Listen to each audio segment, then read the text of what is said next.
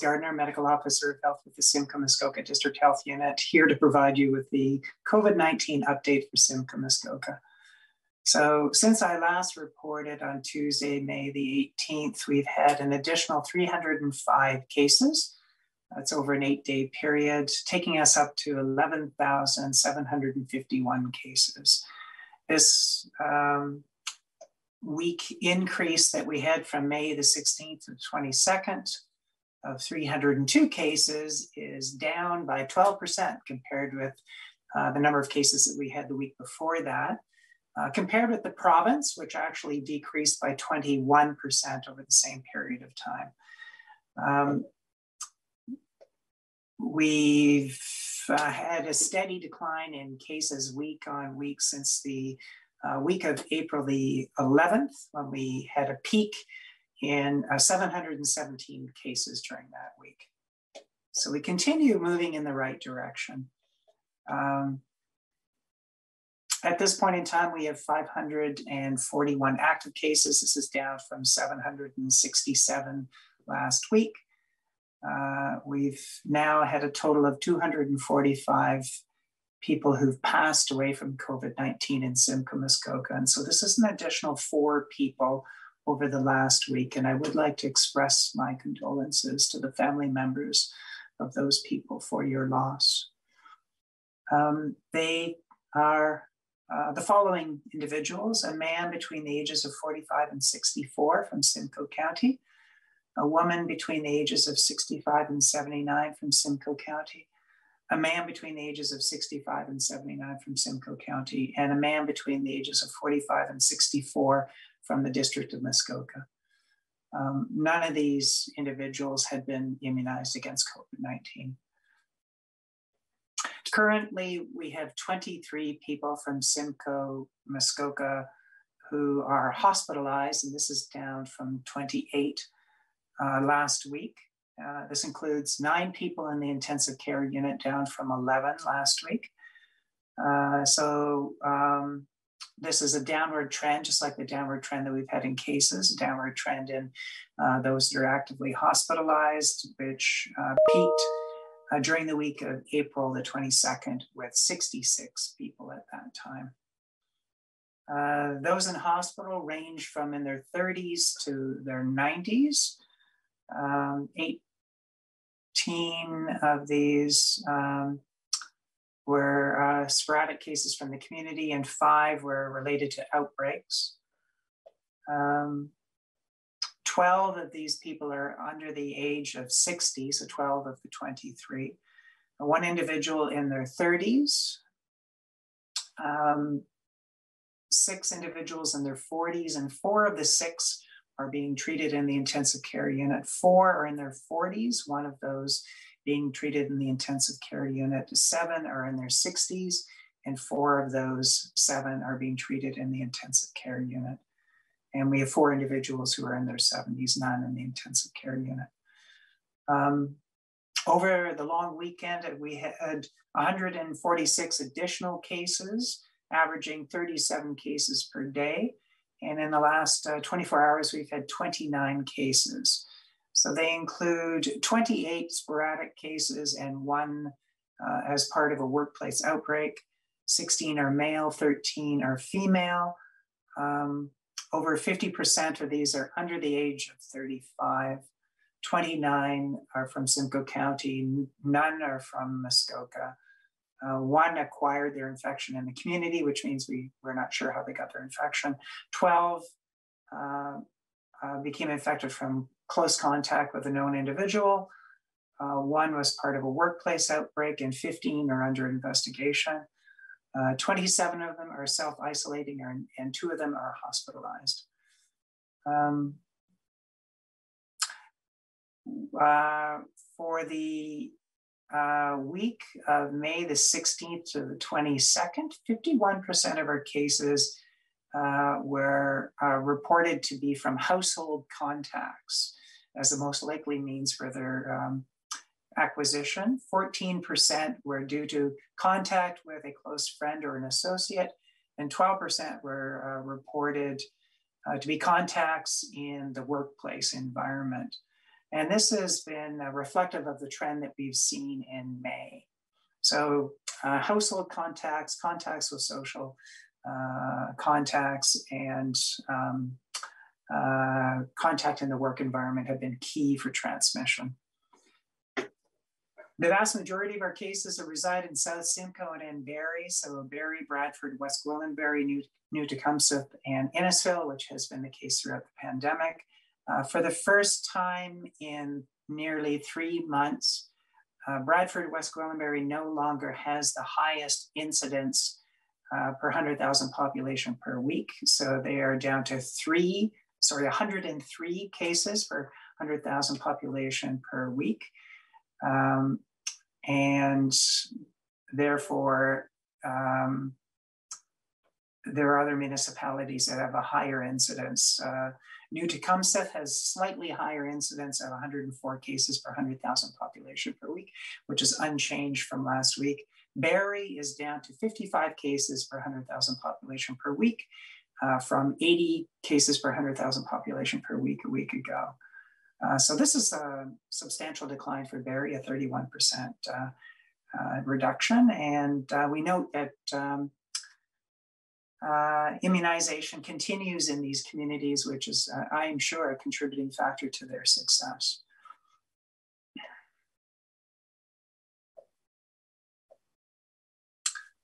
Um, the incidence of cases per 100,000 population per week for all of Simcoe Muskoka is 50, uh, which is down from 57 a week ago. Um, and this remains below the provincial rate at 86 cases per 100,000 population per week. So for most of the pandemic, we've been riding at about half of the provincial rate. A little bit higher than half of the provincial rate right now. The province had come down a little more steeply uh, over the past week compared with Simcoe Muskoka. 96% of our COVID cases uh, in the past week um, are variants of concern. So as I indicated, now the variants of concern have essentially taken over uh, our COVID cases and have done so for several weeks. Um, the great majority of these are um, B117 variants. However, we have an increasing number that are due to the P1 uh, variant of concern, 105 cases to date, up from 87 a week ago. And um, no change in uh, the number that are the B1 351 variant at 19 cases, and no change in the B1617 variant uh, at two cases. Uh, we presently have 10 outbreaks from COVID 19, down from 12 a week ago. Um, nine of these are due to variants of concern. Two are in institutional settings. So this is up from one a week ago. This is due to a new outbreak in uh, Creedan Valley long-term care facility. We have um, one uh, outbreak in a congregate setting, which is an increase of one from last week. Uh, and this is um, in a facility, a congregate setting in Simcoe County. We have a, um, a total of seven workplace outbreaks, which is down from 10 a week ago. So uh, we have three new outbreaks, a construction site in Simcoe County, a manufacturing site in Simcoe County, and a uh, retail trade location in Simcoe County. But we have six outbreaks in workplaces that were declared over in the past week. So three were in uh, public administrative offices in Simcoe County, two, um, two were in uh, repair and maintenance locations and one in a retail uh, trade location, um, all of them in Simcoe County. We have no outbreaks in uh, community settings and no outbreaks in educational settings, down from one uh, a week ago with an outbreak that had been in a child care center in Simcoe County declared over. Uh, we continue with uh, immunization, making good progress. So to date, we have administered uh, to 287,600 vaccine doses. Um, and uh, 48% of um, our uh, population, 48% of our population has received at least one dose of immunization, and 59% of our adult population in Simcoe Muskoka, that's 18 and over, have received at least one immunization. Uh, and um, 79% of those 50 years of age and older have received at least one immunization in Simcoe Muskoka. So uh, making good progress all around, and in particular for those that are older and at higher risk, uh, certainly making very good progress for those that are 80 and above at 93.7% having had their first dose of immunization. Uh,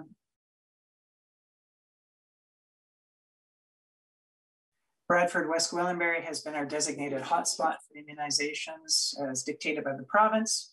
And uh, just under 50% of their population, 49.6% of their population has been immunized, compared with 48% of the rest of Simcoe Muskoka. So they have surpassed uh, vaccination in Simcoe Muskoka. So 59% of those 18 and above have had at least one dose.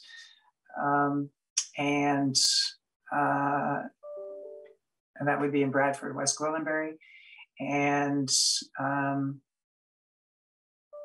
17% of uh, uh, those that are 12 to 17 have received their first dose there. So uh, good progress is being made in, in the hotspot. And that may uh, have contributed to the fact that they've had such a dramatic decline in transmission in their community and now are not the leading uh, municipality with regards to their rate of transmission over the past week.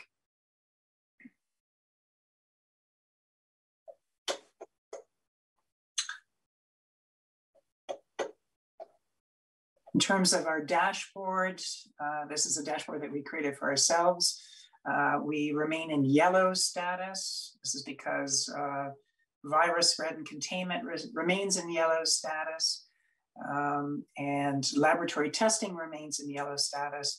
We do have a very good turnaround time for laboratory testing, uh, meeting the goals of 60% return in one day or 80% within two days. However, um, we still have an elevated percent positivity at 4.4%, uh, down from 5 uh, percent and below the provincial rate, uh, but above uh, 3%, which uh, is um, anything above 3% is of concern. Uh, the healthcare capacity in our district is at yellow status with a, a, low acute, acute bed occupancy uh, below uh, 90%, and here it's 75.6%. But uh, what we consider to be yellow status for ICU bed occupancy at 90.9% and uh, high ventil uh, ventilator bed occupancy at 77.8%. And the public health system capacity remains at yellow. Uh, we um, are um, reaching 90.1% uh, of our cases um, within uh, the, the, target 90%, um, but uh, need to improve with regards to um, uh getting fully back up to speed with uh, contacting all of our, our contacts of our cases. So progress is being made, but we still remain in yellow status. Um, testing uh, has declined across the province in terms of rate and has also declined somewhat in Simcoe Muskoka. Um, and this may be in part due to a reduction in transmission, but we still have a, a fairly high positivity, which indicates that it would be preferable to have more testing happening, more individuals are contacts of cases or have symptoms coming forward for testing. Um, so I'd indicated that our percent positivity, positivity is 4.4%. Uh, and the provinces is 6.4%, down from 7.2% a week ago. So better than the province, province coming down and ourselves coming down. Uh, we um, note with regards to the occupancy of our hospitals, this is different from the figure I gave before about how many of our citizens are in hospital, because they could be in hospital either in or out of Simcoe Muskoka. But looking at um, the uh, burden carried by our local hospitals for people from here and from away, uh, at this point in time, we have uh, 23 patients in acute care beds and 15 uh, patients in the intensive care units in local hospitals, including 12 that are uh, being ventilated. And um, so that makes a total of uh, 38 individuals being cared for in our hospitals in Simcoe, Muskoka. And um, 12 of these individuals are actually from uh, from our residents. The others are from out of district. So a total of 20, 26 individuals that are from out of, out of jurisdiction being provided care here. Okay. So uh, a few things with regards to immunization and the eligibility for immunization. As of May the 23rd, eligibility has been extended to include 12 and above. So those 12 and 17 uh, were new to be included to receive uh, a booking for immunization.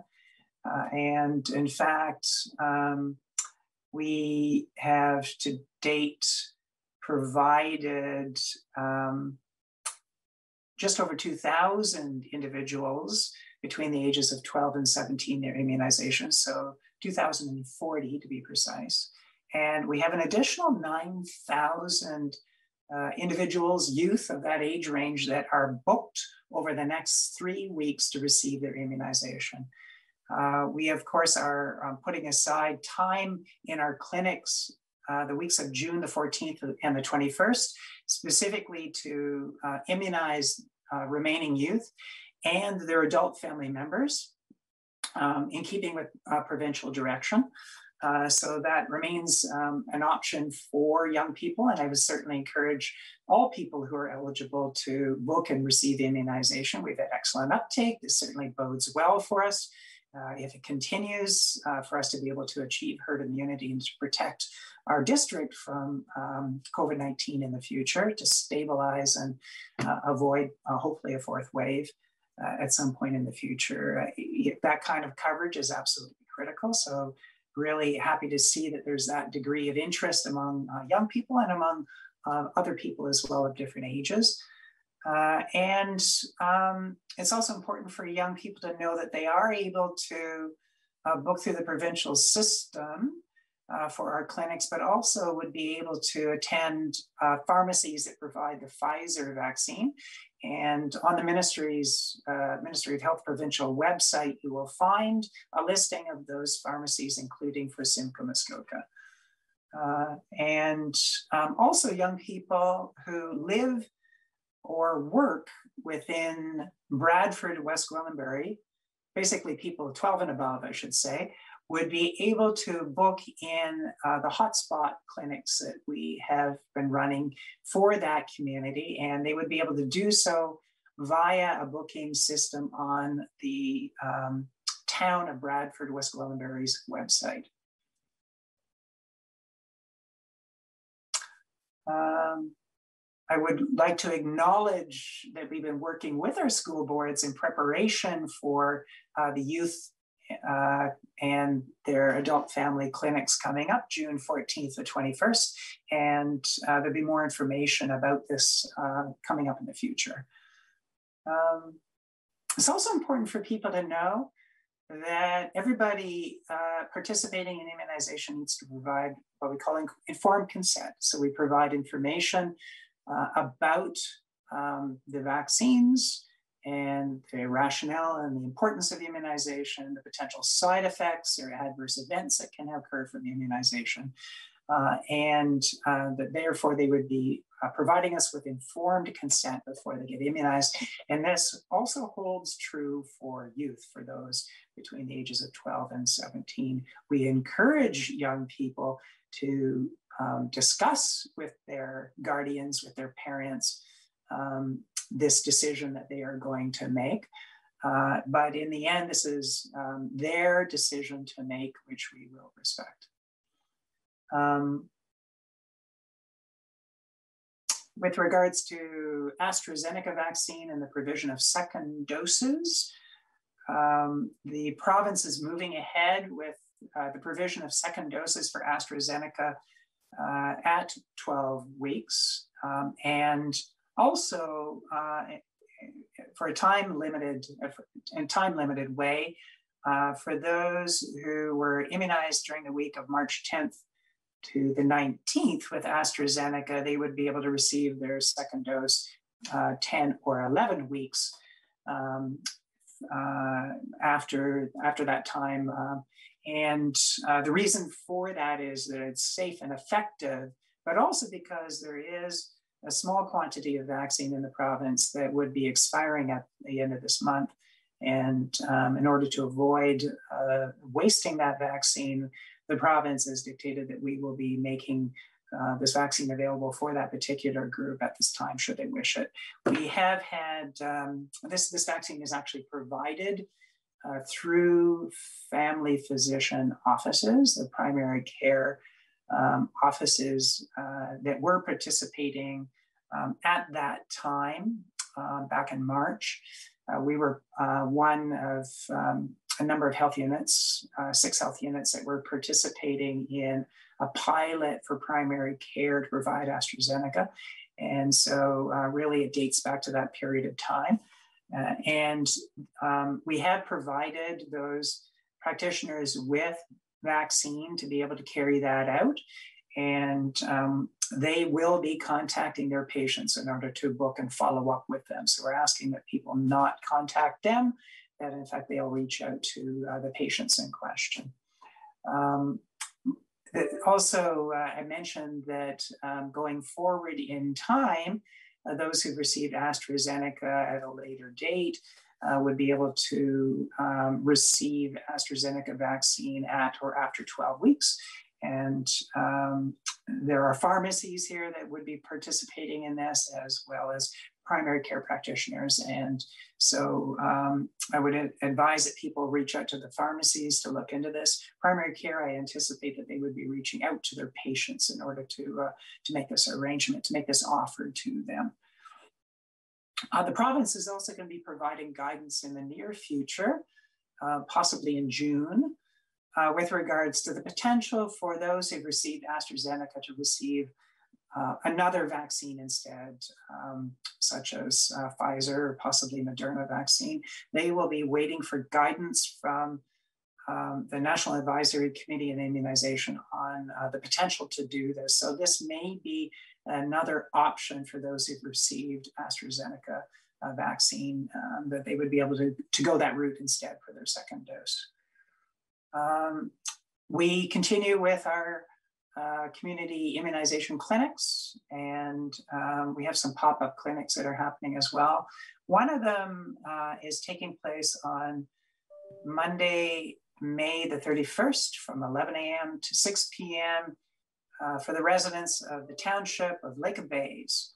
And um, this would be those that are 18 years of age or older who live, work, or go to school anywhere in the district of Muskoka.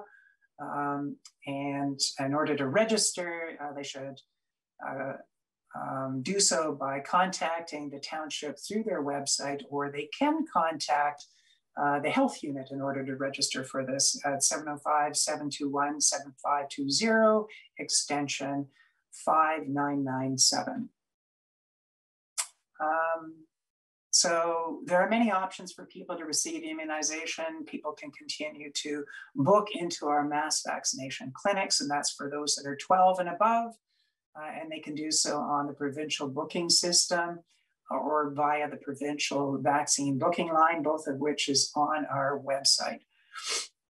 Um, those uh, who have already booked and are waiting to be immunized uh, can put themselves on a standby list to be called back at the end of the day for clinics if there's any leftover vaccine. This is this list is uh, established afresh each day at eight in the morning, and so they can certainly contact us as a health unit in order to uh, to be put onto that list if you want a, a chance of being immunized sooner. Uh, for those that are um, uh, 12 and above that either live or work or go to school in um, the town of Bradford, West Gwillimbury, or hotspot, they can book uh, to attend one of our hotspot clinics there uh, via the township's, the town's website. We have pharmacies in Simcoe Muskoka that are providing either Pfizer or Moderna vaccine. And um, we would advise that people have a look at the province's website about which pharmacies provide which of these vaccines, um, and that you contact these pharmacies in order to, uh, to arrange a booking. Uh, they aren't participating in the provincial booking system. Uh, and um, we have a pilot underway for Moderna vaccine. This is uh, primary care practitioners providing Moderna vaccine. And um, uh, this would uh, be for, for, would be for the adult population, and um, the participating family practices would be reaching out to their patients in order to make this offer. So I, I request that you not contact them; they'll contact their patients.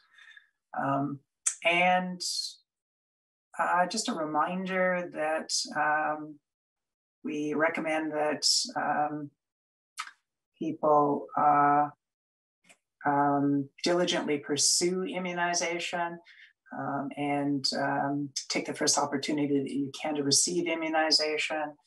Uh, the booking system may be delayed uh, for our mass immunization clinics because of the large numbers of groups now that are uh, eligible to receive immunization. So it may be uh, later in June that you're getting your booking. Um, the province um, issued its uh, provincial roadmap last Thursday for reopening. And um, according to uh, their own announcement, they anticipate that they would be entering step one of the roadmap during the week of June the 14th. They do have criteria for uh, moving through their three step roadmap. Uh, the criteria include achieving certain levels of immunization um, that they uh, provided publicly, but uh, also include other criteria that um, they didn't uh, actually indicate um, the levels that would, would be needed to be achieved in order to move into those stages. But they do uh, speak to transmission levels and burden on, on the healthcare system as being um, part of uh, what would determine whether or not you can move into the next stage. And they also indicated that uh, there'd be a minimum of uh, 21 days between each step. Uh, they also indicated um, last week uh, that uh, starting on Saturday, the number of outdoor amenities would be open for public use. And they were very specific, indicating golf courses and driving ranges, golf, uh, soccer and sports fields, tennis and basketball courts, uh, skate parks. Um, there are certain other uh, amenities as well that are listed provincially, and please have a look at our website for the details on that. Um, but the stay at home order remains. So the province has increased um, the gathering size allowed outdoors to five individuals. Uh, and it can be people who are not from the same household, but if if not from the same household, physical distancing of two meters uh, or use of masks if you cannot, uh, you find yourself in a situation you cannot distance uh, is necessary. Um, and for indoors, we are still to stay to household members only in our homes, not have other people over, not go over to other people's homes indoors, uh, with the exception of individuals who live alone who can identify one other household to have that kind of close contact with. Um, but um, with all of that in mind, uh, being allowed to have uh, outdoor gatherings of up to five people with the distancing, uh, I think that that would better enable people to take advantage of these outdoor amenities. Um, and it's also important to note that any indoor environments that are associated with those outdoor amenities remain closed, such as clubhouses. Um, and um, also, people need to be very careful about uh, avoiding carpooling with individuals that aren't from your household, um, because that essentially is uh, a close uh, uh environment exposure, a high risk exposure. Um, and um, uh, also, it's important for people to be aware that um, they are to stay close to home, to not to travel uh, except for essential purposes.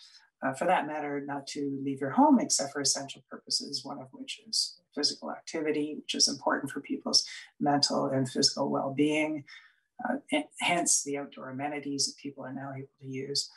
Um, but uh, certain other, other activities such as shopping or seeking medical attention. But otherwise, the stay at home order remains.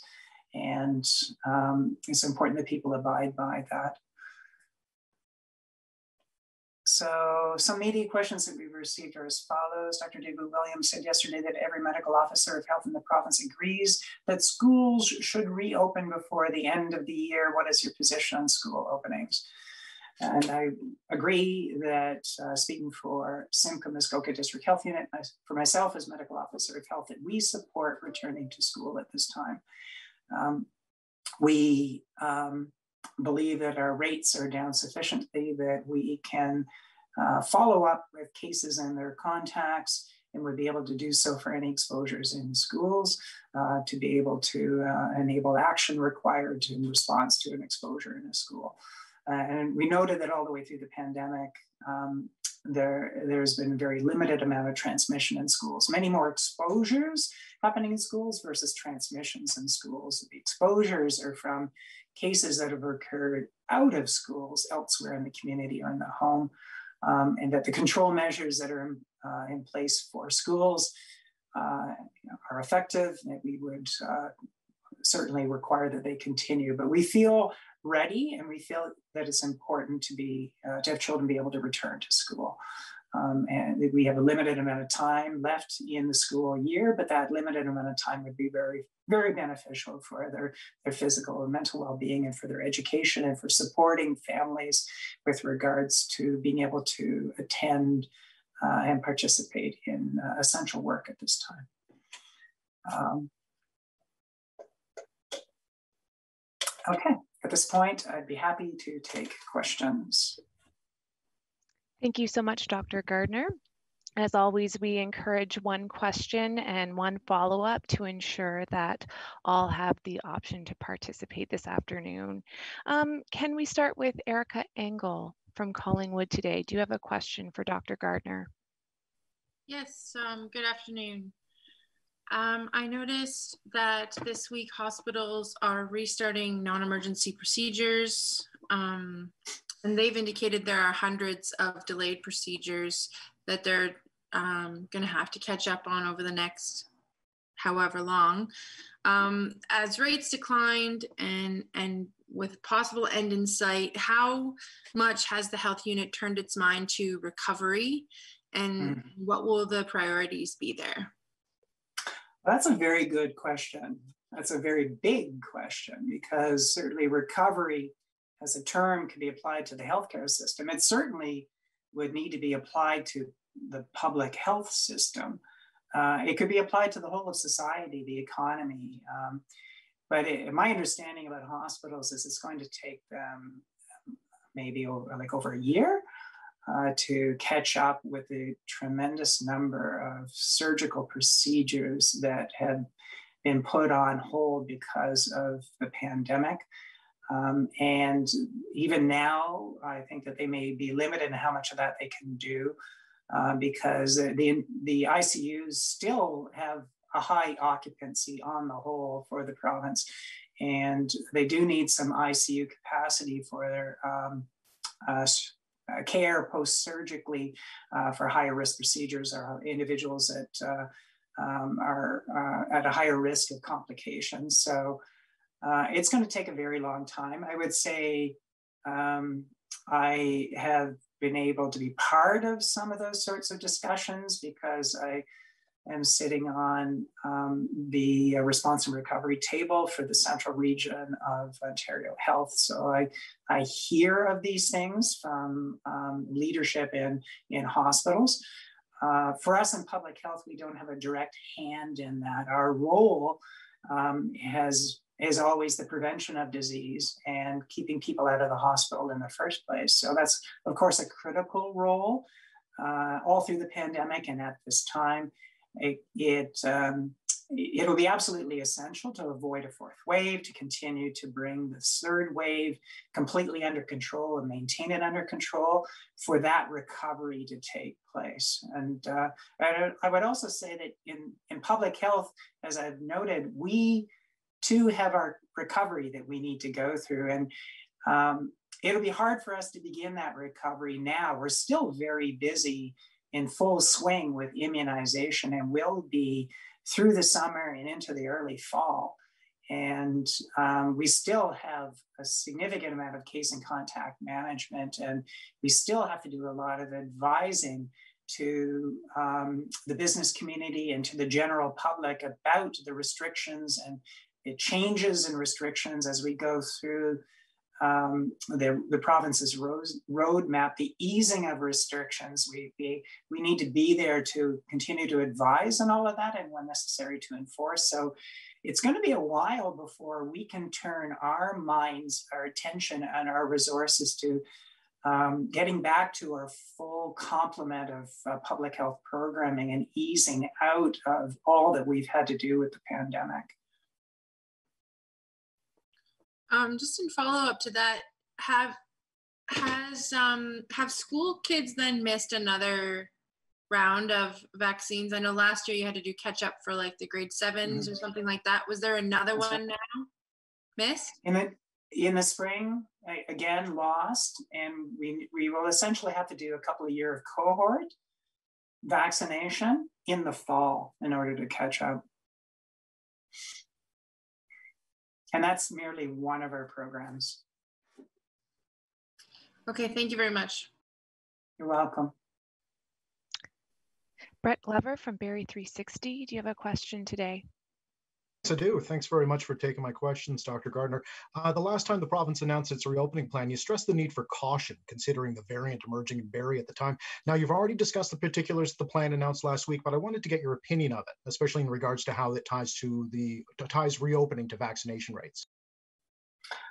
Um, you know, I, I've commented uh, on Friday that I think that they have a suitably cautious plan with a um, an appropriate timeline. Uh, I I uh, thought it was appropriate to keep us in shutdown for now. Um, I thought we were safe to be, and I still do think we're safe to be able to open up the amenities that have been identified but with the proviso that the indoor environments associated with them remain closed, that the gathering uh, limits remain low at five, that all the other requirements of distancing and masking are in place. Um, I um, uh, think it's good that we're waiting, and they've cited the week of the 14th of June before you get into the first step that that first step is an opening up of outdoor amenities and businesses, not indoors. Um, that there's 21 days between each step. Um, 28 would have been uh, two full incubation periods, so it would have been that much more cautious, but 21 is cautious. Uh, that you're really not getting into large scale indoor environments to step three. I do note that step two allows for um, uh, retail environments to be opened, very diminished um, occupancy at 15%, but open. That's that is an indoor environment, so we'd have to be careful about that in in uh, in step two. But I do think it's very good that it's linked to immunization rates because it's immunization that's really going to be the foundation for us going forward in keeping the pandemic controlled. And it is uh, something that's been shown to be very beneficial in, in uh, achieving control in uh, the experience of other countries, and in particular in Israel. Uh, so we, um, I support uh, the, the, plan as a whole. I think it's important that they use the other indicators um, uh, when considering uh, the safety of opening up. Uh, they, have specified in very broad terms what they are, but not what the actual trigger points are. So it's important that they do indeed take into account the level of transmission and the burden on the healthcare system, ICU occupancy, uh, when uh, deciding uh, whether they can move to the next stages. Um, and you know the capacity of the public health system is something that should be considered as well. Our own readiness uh, to be able to move through the stages. Uh, considering the plan that was announced last week, combined with all the downward trends that we've seen lately, how real is the risk of a fourth wave? Do you think? We're doing very well for immunization, and that bodes really well for us. We're not finished yet. We um, need possibly to get as high as an 89% coverage. That's the high end estimate that Public Health Ontario has released. Uh, and that certainly implies that you're going to be immunizing children. We are now immunizing youth. It's quite possible that uh, there'd be recommendations in the fall for children. We'll have to wait and see. I know that the research is underway looking at uh, immunization for children. Um, but um, I, th- I, think that it's uh, critically important um, that we achieve high immunization in order to make it much more likely that um, we either don't have a fourth wave at all uh, or that it be very diminished compared with what we've experienced to date. For your time. My pleasure. Mary Beth Hartle from Muskoka Region. Do you have a question today? You know what? No, I don't. Thank you. Okay, thanks. Um, James Bowler from Cogeco, do you have a question today? I do. Thank you. Uh, Dr. Gardner, just wanted to ask you about the province's announcement of, of the uh, staged reopening.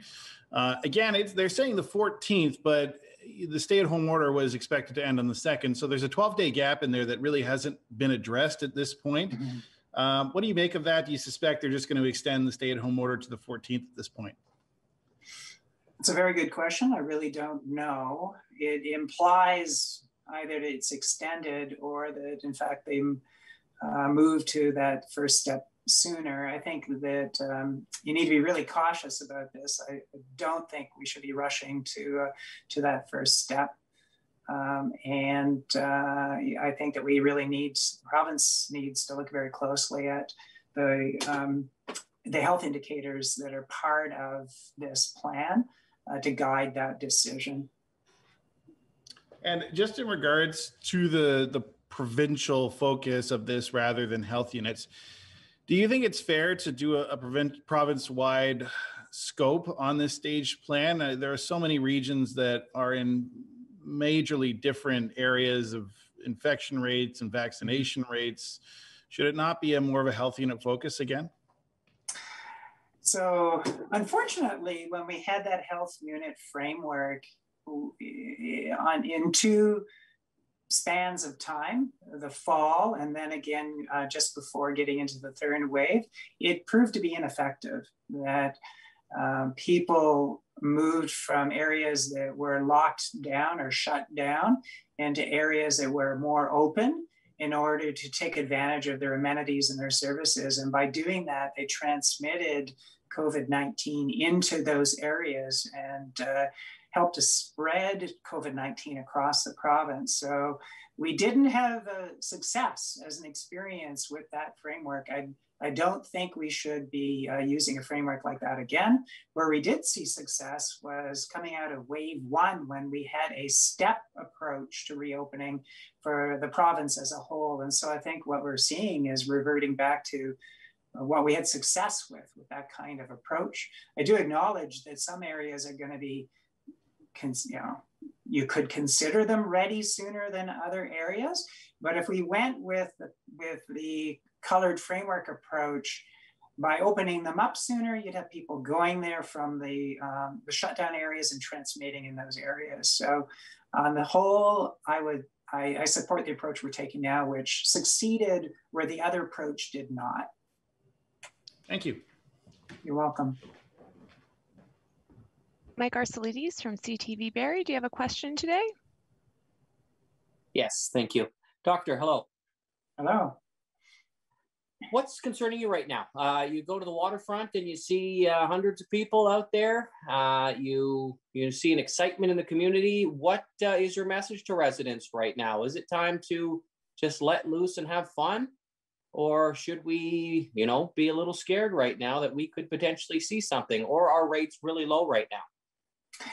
I would say it's important for people to realize that although we're having success in bringing down transmission, we're still having in the range of a thousand cases in the province a day. Uh, and that is actually the level that we had when we came out of uh, the shutdown at the end of stage of uh, the second wave. And unfortunately, that set the stage for us to then end up in the third wave. So um, I think one could raise the point we now have immunization, and that brings us into a different situation. And we also have warmer outdoor weather, and that brings us into a different situation that's safer. And I would acknowledge that. Um, but uh, I, I, still think that it's premature for us to uh, disregard the, um, the requirements that are in place now. I, I encourage people to uh, go outside carefully, to do so uh, abiding by the gathering limits of no more than five people, of keeping physical distance from non household members, um, to uh, certainly take care of your well being that way and your mental health that way, and to seek and get immunized as soon as you can. Um, I, I, I, um, I, think, though, that we need to be cautious uh, and take it one step at a time. So do you anticipate we'll see an increase? I know some of your colleagues we've spoken to have said we could see uh, a little bit of a spike here, a little blip uh, following the long mm. weekend. Is there any indication that that is the case and we had evidence of gatherings?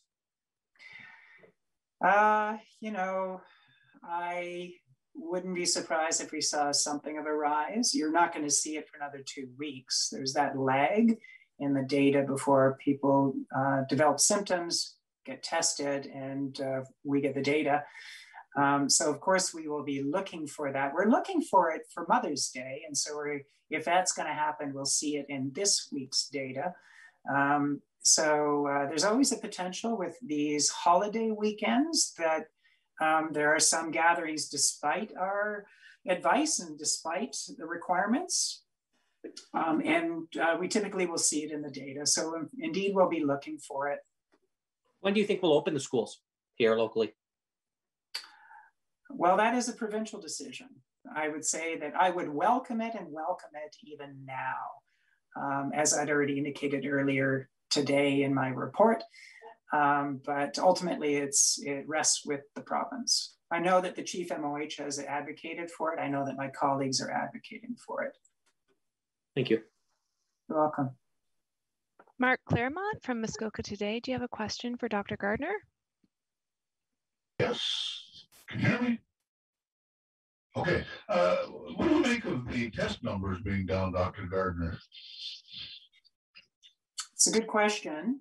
Uh, as I'd indicated, I would prefer that they be up a bit at least because we still have a high percent positivity. That percent positivity is really a, an indicator of how much transmission is happening versus how much testing is happening. And it goes up when you've got both um, more transmission happening and not enough testing happening. So it's improving, it's coming down, but it's still fairly high.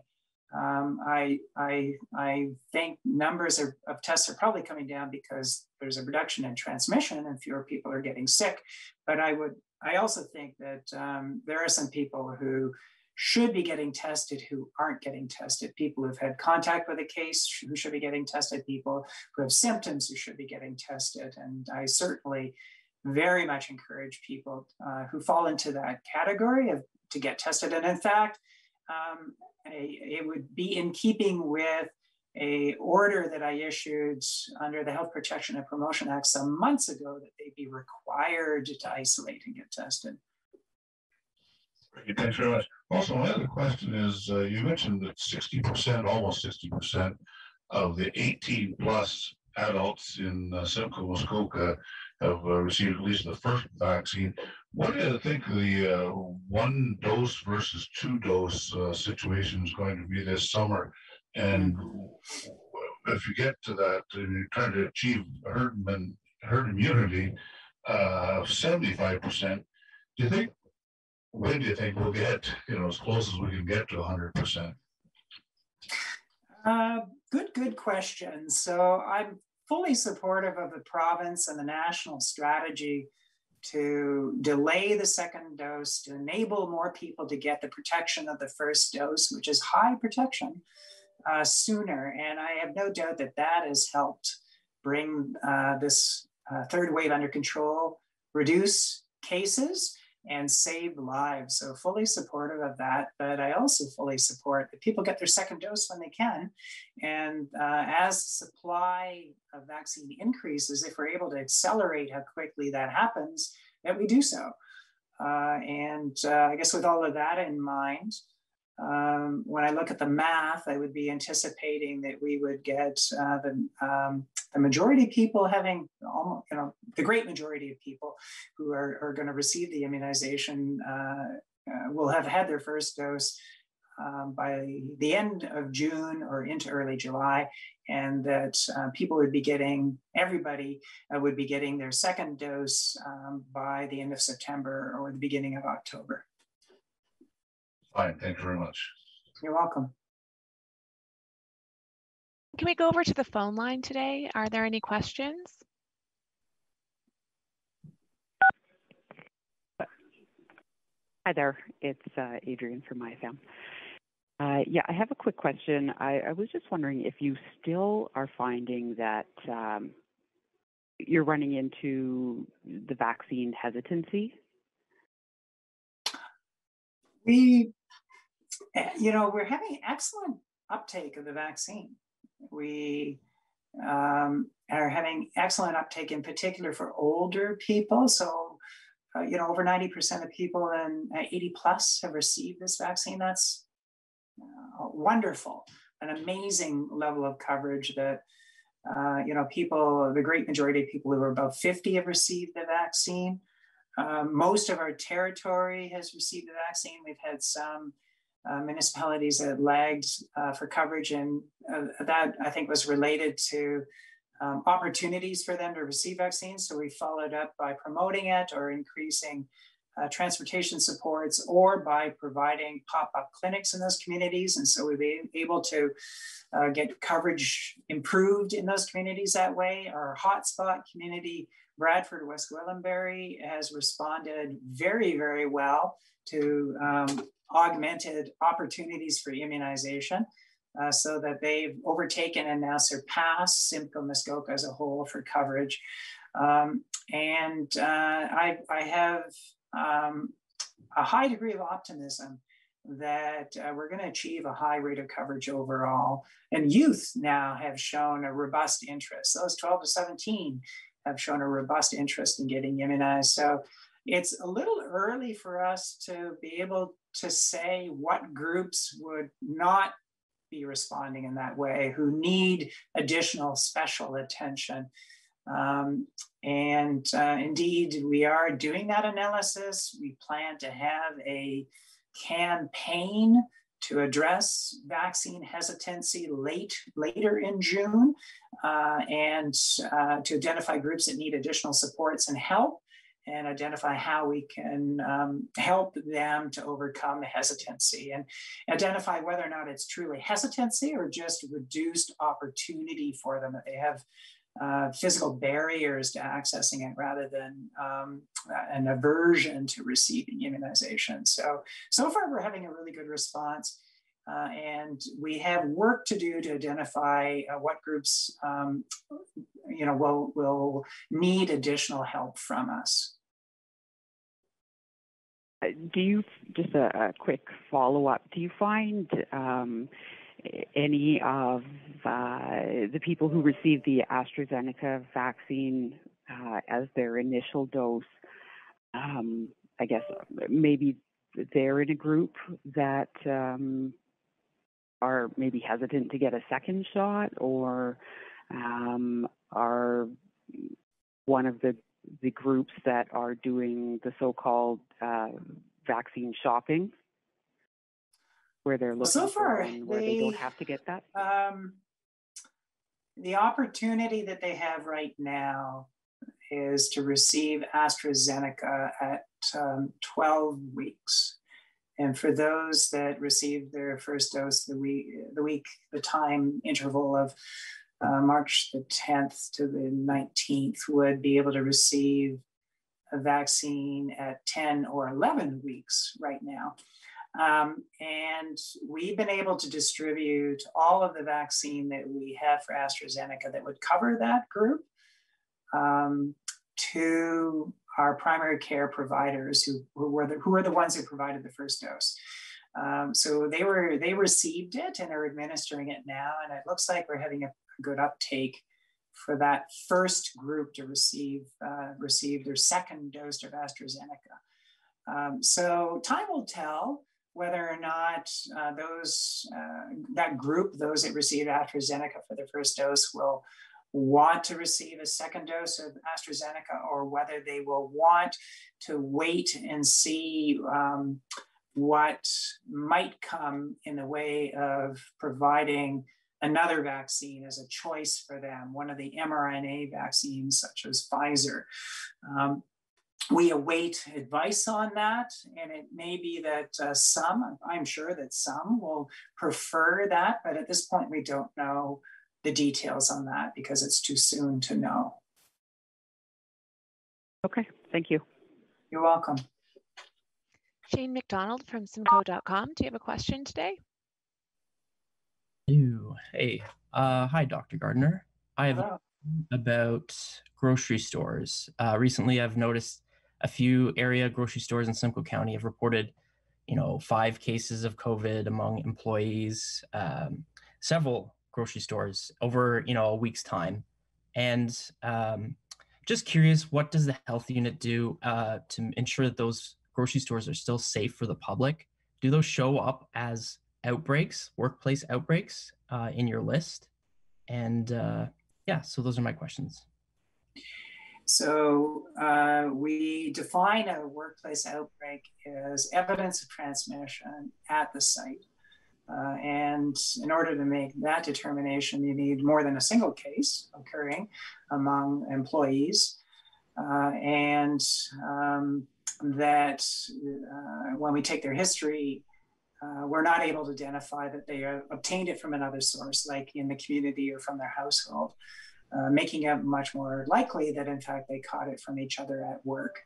Uh, and uh, when, when um, in fact, uh, we have that situation, we declare an outbreak, and uh, they end up being posted in our stats on our website. We don't list the name of um, most premises. Um, and the only time we would is if it would become necessary to do so to uh, advise the public because uh, we feel there's been exposure that's high risk and we can't, um, through other means, identify the, the, members of the public who got exposed. But that uh, almost never occurs. It's very unusual. Um, and um, instead, for workplaces such as food establishments, uh, we um, work with identify everybody who's a high risk contact of the cases and have them go into isolation or quarantine and not attend work and otherwise have very close monitoring or surveillance of the work environment uh, to look for other cases and put in place uh, all the infection prevention and control requirements uh, that need to be there anyway as a requirement for uh, work environments. Um, and um, uh, as I've indicated, uh, we wouldn't be releasing the name of the facility, uh, the, the, store, the, the operation, unless uh, through history taking, we'd identified that there had been high risk contacts of members of the public. Um, so uh, there have been situations where we've had work environments where there's been an exposure, but no evidence of transmission on site. And so there we have enhanced surveillance in place uh, to uh, make sure that no transmission occurs, that there isn't actually an outbreak going on. Um, but uh, in those situations, if in fact they don't go on to be identified as an outbreak, then they aren't included on our stats on our website. although the individual cases go into our case count. And just like, um, I guess you did kind of mention how what you would do there, right? Contact tracing. So, Mm-hmm. uh, second question, um, I don't know, how would you rate the success of this stay-at-home order, and how do you kind of parse that with the effect on the local businesses, the patio, the mm. restaurants that haven't been open for a long time, and the hairdressers? They have a long road ahead of them, right? So, how do you parse the success of those two things?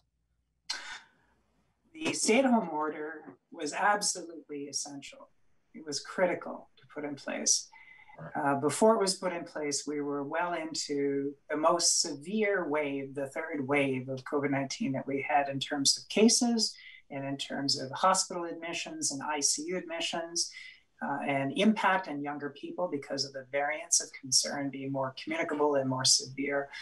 Uh, and we we're well on our way to our hospital system being overwhelmed and unable to cope, putting patients at risk of dying for a lack of care, essentially, the inability to provide them with the intensive care unit support that they needed.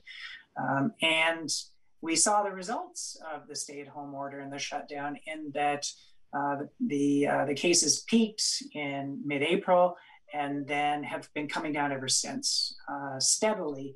Uh, such that we're much lower now than we were when we were near the, the top of the peak. We were uh, almost at 5,000 cases per day in the province, and we're now at about 1,000 cases a day in the province. Um, the intensive care units are still full. There's been some reduction, but they take a long time to empty because people spend a long time in the intensive care unit. So we're still vulnerable. If we were to have another wave, we'd still be vulnerable to overwhelming um, that kind of care capacity. Uh, those who are most sick would be endangered of not being able to receive uh, their care. So we need to be careful now. We need to do what we all that we can to avoid that kind of resurgence. We're in a much better place because we've managed to vaccinate such a large proportion of the population. That helps us tremendously, but we need to take this one step at a time. Um, there is no doubt that this has been very hard on many, many businesses. And it continues to be hard in many businesses because uh, they cannot open. Um, and certainly, I fully acknowledge the hardship that that is for, for owners and for people who work in these places with regards to their income and endangering their livelihood. Um, but we, we really had no choice um, because what was at stake otherwise was the potential for mass mortality in hospitals with the hospital system being overwhelmed. Great. Uh, thank you so much. You're welcome. Mohammed Fahim from My Muskoka Now. Do you have a question for Dr. Gardner? Yes, please. Uh, thank you. Can, can you hear me well? Yes. Perfect. Uh, thank you, Doctor. So um, uh, I'm sorry, I, I joined a bit a bit late, so you may have uh, already covered this uh, in the early minutes of this. Uh, but um, uh, when it comes to schools, so there's there's a lot of a lot of talk left. Yeah, for just from your reaction, I'm like, yeah, you, you probably did.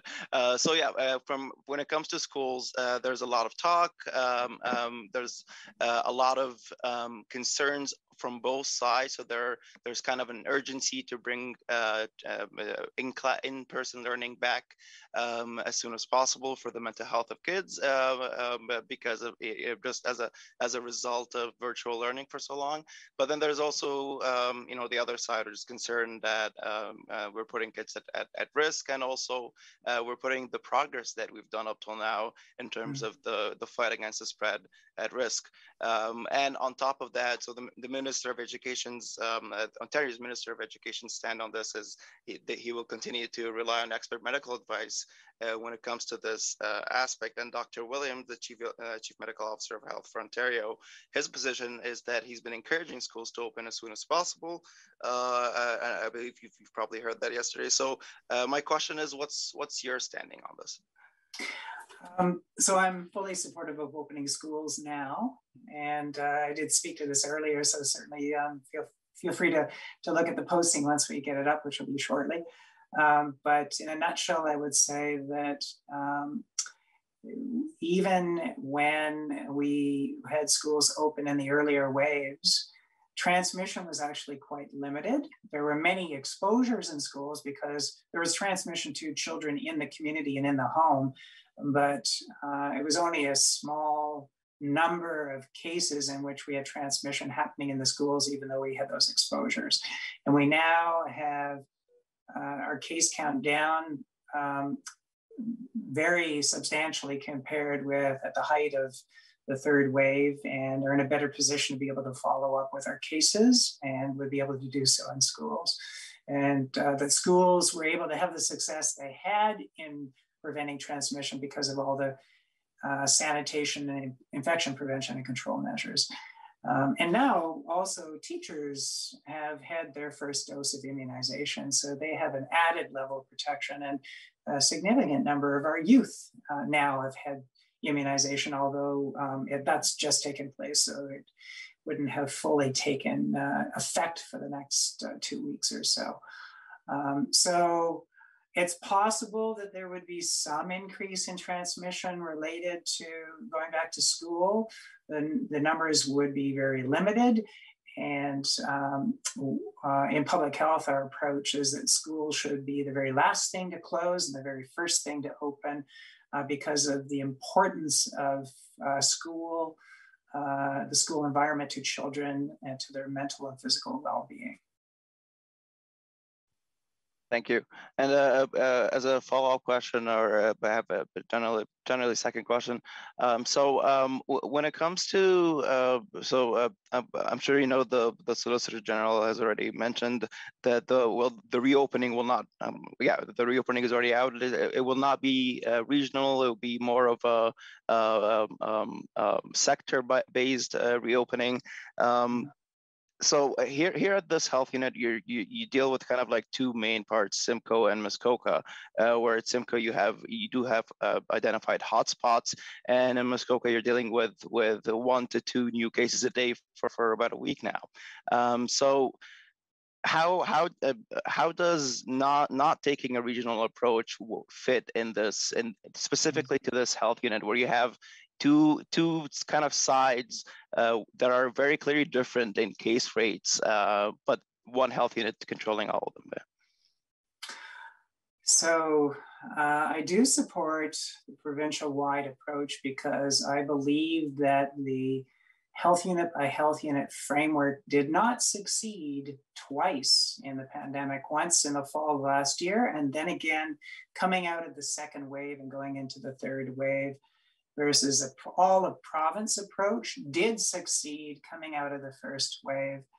Uh, what happens with uh, the framework with health unit, uh, health unit by health unit approaches, those that are more restricted um, end up with populations moving to less restricted areas in order to take advantage of their um, businesses and services. And that leads to transmission in those areas. And there's a real risk that if Simcoe uh, County were to remain uh, under shutdown, but Muskoka were to open, that you would get more people from Simcoe and south of Simcoe going to Muskoka, uh, leading to transmission in Muskoka.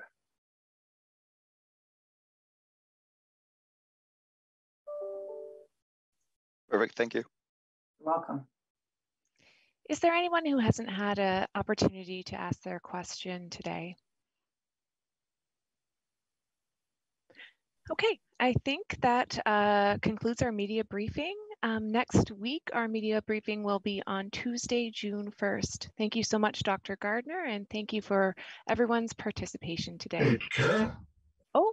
Sorry, I just have one quick question for Dr. Gardner. What about kids under age 12? Will they uh, eventually get the vaccine? That's a good question. Your question was, what about children under 12? There is research underway for children as, as young as six months of age. Um, and uh, we shall see what the results are on that. And we shall see what the National Advisory Committee on Immunization uh, would advise about vaccinating younger children. They are at lower risk of transmission and are at lower risk of complications and severe disease so I think the National Advisory Committee on Immunizations would have to take that into account.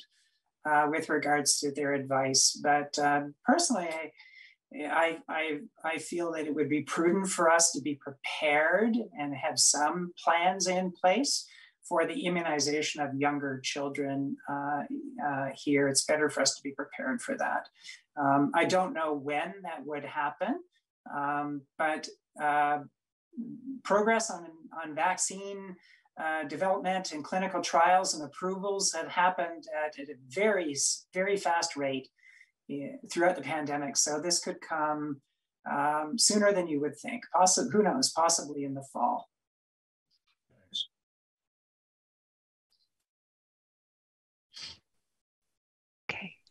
Thank you so much, everyone. And we will uh, resume our media briefing next week on June the 1st. So once again, thank you everyone for your participation and thank you to Dr. Gardner. Bye, everybody. Bye. Thank you.